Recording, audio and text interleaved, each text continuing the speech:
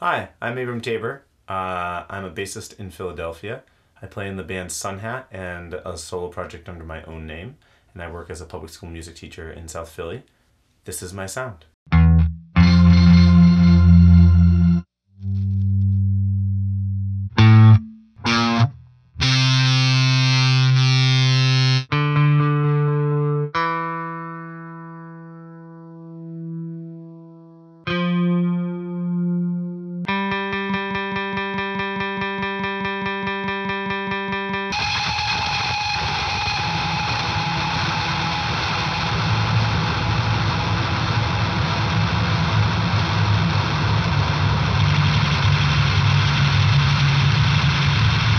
Junkie Music, rest in peace.